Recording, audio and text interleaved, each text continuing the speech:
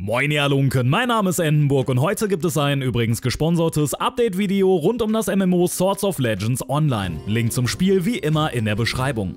Der Titel erschien bei uns ursprünglich im Sommer letzten Jahres und bekam von mir zum Release natürlich auch ein 10-Minuten-Video spendiert. Grundsätzlich handelt es sich bei Solo, wie ich es von hier an aus Kompaktheitsgründen nennen werde, um ein MMORPG mit asiatischem Setting, aber weniger mit asiatischen Systemen. So kam das Spiel ohne Genderlock, ohne random Upgrade-Schindluderei oder Pay-to-Win-Shop auf den Markt. Stattdessen setzte man auf ein Buy-to-Play-System in Kombination mit einem rein kosmetischen Shop. Für mich waren und sind insbesondere das Gameplay, das sowohl als Action Combat als auch als Tap-Target möglich ist, sowie die Grafik die beiden großen Stärken des MMOs. Nun gab es jüngst allerdings ein fettes Update in Form der Firestone Legacy Erweiterung. Diese bringt nicht nur ein neues Maximallevel, neue Klassen und zahlreiche neue Inhalte, sondern vor allem eine Umstellung auf ein Free-to-Play-Modell mit. Damit einhergeht natürlich immer die Hoffnung, die Spielerzahlen deutlich in die Höhe zu schrauben. Welche neuen Inhalte konkret in der Firestone Legacy drinstecken und wie mein Fazit nach meiner Rückkehr zu Solo aussieht, erfahrt ihr in diesem Video. Wir beginnen mit der Frage, die sich bei einer solchen Umstellung naturgemäß stellt. Was verändert sich im Bereich der Monetarisierung? Dankbarerweise lautet die Antwort hier gar nichts, denn der Shop soll auch nach dem Free-to-Play-Switch ein komplett kosmetischer bleiben. Das Versprechen eines Shops ohne Bezahlvorteile war ja seit Release gehalten worden und daran soll sich schönerweise nichts ändern. Diejenigen übrigens, die sich das Spiel gekauft haben, erhalten fairerweise kosmetische Rewards als Kompensation für ihre Ausgabe. Kommen wir nun zu den neuen Inhalten. Da wären zunächst die beiden neuen Klassen Fuchsmagier und Krieger. Hier gibt es leider, vermutlich vor allem für westliche Spieler, einen großen Dämpfer, denn die neuen Ausrichtungen bringen einen Genderlock mit. Wer meinen Kanal schon eine Weile kennt, der weiß ja, dass ich diesem Konzept extrem kritisch gegenüberstehe und im Falle von Solo ist es besonders bedauerlich, dass nun ein Genderlock im Spiel ist, denn zum Release gab es keinen, da waren alle Klassen mit beiden Geschlechtern spielbar. Wer jetzt also die Fuchsmagierin spielen will, muss das als kleines Mädchen tun, ob er will oder nicht. Schade. Beim Blick hinter die Kulisse einer magiebegabten Wendy-Abonnentin, gibt's die Wendy eigentlich noch oder bin ich einfach alt? Offenbart sich jedenfalls ein spaßiger Spielstil. Als Spezialisierungen stehen Fernkämpfer oder Heiler, der mit HOTS, also Healing over Time, arbeitet, bereit. Die Klassenressourcen, mit denen ich hier hantiere, sind zum einen die sogenannte Duftenergie. Zugegeben, es sind bedrohlicher klingende Namen vorstellbar. Jene Energie jedenfalls benötige ich zum Ausführen spezieller starker Fähigkeiten. Darüber hinaus arbeitet die Fuchsmagierin mit roten und blauen Haltungen, zwischen denen sie wechseln kann und damit Zugriff auf unterschiedliche Moves bekommt. Zudem kann sie sich in einen kleinen Fuchs verwandeln, der wohl die im Internet geläufige Bezeichnung Small verdient. Als ausgebildeter Sprachwissenschaftler prangere ich die falsche Rechtschreibung entschieden an. Als Fuchs kann ich übrigens die Schulter eines Gruppenmitgliedes als gratis Uber-Option missbrauchen und die Sonnenseite des Lebens genießen. Und Kuchen für die Mates backen kann ich auch. Das wichtigste aber sind natürlich die Combat Skills. Hier kann ich die Identität eines Nicht-Elite-Monsters raubkopieren und es anschließend schamlos für meine niederen Gold- und XP-fokussierten Zwecke in den Kampf schicken. Viele meiner Fernkampffähigkeiten haben zudem Crowd-Control-Effekte wie Slows, Verwirrungen oder Verwurzelungen. Rein optisch bewegt sich die Fuchsmagierin in einem doch recht pinken Bereich voller Blumen und Blüten, also was für knallharte Kerle. Nicht jedermanns Geschmack, aber andererseits, wer kann zu diesem Fratz schon Nein sagen? Eine perfekte Überleitung zu diesem Fratz, den ich sicherlich auch als Oh warte, da ist ja wieder der Genderlock. Denn auch die zweite neue Klasse, der Krieger, kommt ohne Wahlfreiheit des Geschlechts, dafür in Gestalt zweier Unterklassen daher. Zum einen ist da die Geistkriegerin, die ebenfalls wieder nur als Mädchen gespielt werden kann. Hier darf ich zwischen den Ausrichtungen Nahkampf-Fernkampf-Hybrid und Tank wählen und mit einer Ressource namens Jade arbeiten, die ich klassischerweise wieder aufbauen und dann für wuchtige Attacken verbraten kann. Darüber hinaus kann ich die Haltung Jadeklinge einnehmen, das ist dieses gülden leuchtende Schwert, und auf diese Weise meine Skills verstärken. Das mehrschichtige Ressourcensystem in Solo ist grundsätzlich ein Stück komplexer als in vielen anderen MMOs. Als Geistkriegerin jedenfalls bin ich zudem in der Lage, einen Jade-Amboss zu beschwören, mit dem meine Gruppenfreunde dann ihre Ausrüstung schleifen und somit vor dem Verfall bewahren können. Gerne ein Silberstück in die Kaffeekasse dafür.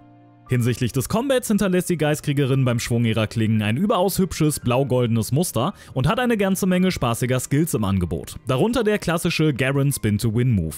Ach ja, falls das bis zu diesem Punkt noch nicht klar geworden ist, ich habe natürlich immer die Damage-Dealer-Ausrichtungen der neuen Klassen probiert, zu den Tank- oder Heiler-Specs kann ich dementsprechend nicht viel sagen. Könnt ihr ja bei Bedarf selber testen, ist ja jetzt free to play.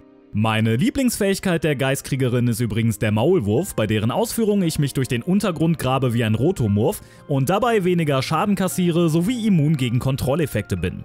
In meinen Augen ist die Geistkriegerin die spaßigste und am besten designte Klasse der neuen Ausrichtungen, denn von den Animationen über die geschmeidige Rotation bis zu den individuellen Skills hat sie mir persönlich hier am besten gefallen.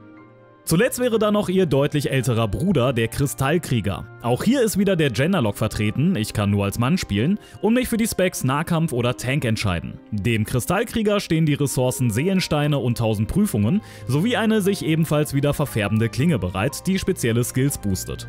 Visuell sieht man die Verwandtschaft zur Geistkriegerin an den blau-goldenen Fähigkeiten auf den ersten Blick, allerdings sind Spielstil und Fähigkeiten, zumindest beim Anspielen, für meinen Geschmack nicht ganz so überzeugend wie bei der anderen Subklasse. Sicherlich aber eine Frage der persönlichen Präferenzen. Genug jedoch von den neuen Klassen, kommen wir zu den anderen neuen Features der Erweiterung. Da wäre zunächst das neue Maximallevel Weiser, das ich nach dem 9. Semester als Student annehmen kann. Regelstudienzeit also leicht überschritten, wer kennt's nicht. Für alle, die das Levelsystem in Solo nicht auf dem Schirm haben, hier level ich nicht von 1 bis 60, sondern von Anfänger 1 auf Anfänger 36, von da an dann auf Student 1 und nun also von Student 9 auf Weiser 1. Bisschen verwirrend, aber man kommt rein. Das neue Maximallevel erreiche ich über verschiedene Aufträge, die mich unter anderem in die neuen Gebiete schicken, von denen es insgesamt 5 gibt. Schwertgipfel, Changhe-Berg, ich hoffe, das wird ansatzweise so ausgesprochen, Changfu-Garten, die fantastisch aussehende Langquan-Brücke und das Paradies der schneidenden Blüten, das gleichzeitig als Startgebiet der neuen Klassen fungiert. Und außerdem noch einmal eindrucksvoll zur Schau stellt, was Solo auf optischer Ebene so drauf hat. Im Laufe des Levels erhalte ich übrigens praktischerweise sehr zügig ein Set mit 150er Gear und peu à peu auch 165er Stücke, womit ich im neuen Content gut klarkomme und auch Wiederkehrer wie ich einen leichteren Einstieg haben und nicht erst einmal eine ganze Weile auf Schnüss kriegen.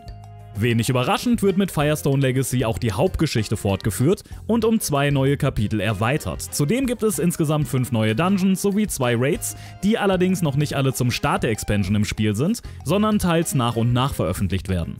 Zeit also, sich in einen der neuen Dungeons zu schmeißen und dafür wähle ich das Feuerstein-Traumgrab. Hier erwartet mich eine Gruppengröße von 10 Leuten, wodurch die Übersichtlichkeit in den Fights mitunter wie diese Wo ist Waldo-Bilder gestaltet ist. Leider fällt auch die Performance nicht immer optimal aus. Zwar ist durchaus auch eine Größe von 5 Personen in den Dungeons möglich, aber bei meinen Random-Instanzen waren wir stets zu 10. Zumindest auf dem Schwierigkeitsgrad Normal, der auch für Frischlinge wie mich gut absolvierbar ist. Zudem gibt es während der Dungeons immer mal wieder Cinematics mit Story-Einlagen, so wie hier mit den Kollegen Blut am Mund und Rotauge. Weil ich mir die Cutscene angeguckt habe, anstatt zu skippen, stehe ich nun im Anschluss alleine ohne Gruppe da und habe keine Ahnung, wo ich langlaufen muss. Ein echter MMO-Klassiker. Im zweiten neuen Dungeon, der Grotte der Fäulnis, werde ich nun Zeuge des Umstandes, dass auch in Solo Ready-Checks und Pulltimer existieren. Wobei sich die Frage stellt, warum sowas in MMOs überhaupt noch genutzt wird, wenn sich eh immer mindestens einer nicht dran hält. MMO-Klassiker Nummer 2. Die letzte neue Instanz, die ich getestet habe, ist das Labyrinth des Himmelstors. Mein Favorit unter den neuen Dungeons, vor allem wegen dem Open-Air-Setting, das ich mir grundsätzlich häufiger in MMOs wünschen würde. Wer will schon immer durch irgendwelche Höhlen, Katakomben oder Ruinen latschen? Mehr Mut zu Sonnenlicht, please. Um an dieser Stelle mal ein kleines Fazit zu wagen, kann ich jedem empfehlen, mit dem neuesten Update und der Free-to-Play-Umstellung mal in Solo reinzuschauen. Schon bei meinem ersten Video im Sommer letzten Jahres, das ihr übrigens natürlich gerne nachholen könnt und in der Endcard verlinkt ist, war ich durchaus angetan vom MMO. Wie gesagt, vor allem aufgrund des Combats und der Spielwelt, weniger überzeugt bin ich hingegen vom grausamen Skill-UI. Da sehe ich noch Luft nach oben. Nun da Solo Free-to-Play ist, gehört es aber sicherlich zu den besten und hochwertigsten Optionen auf dem Markt, gerade im Hinblick auf den rein kosmetischen Ingame-Shop. Habt ihr schon mal in Swords of Legends reingeschaut oder nach dem Video Lust bekommen? Schreibt mir gerne eure Meinungen in die Kommentare und hinterlasst vor allem einen Daumen und ein Abo, wenn euch das Video gefallen hat. Beides hilft massiv und sorgt für neuen Content für euch. Danke fürs Zusehen, lasst es euch gut gehen, bis zum nächsten Video, euer Endenburger.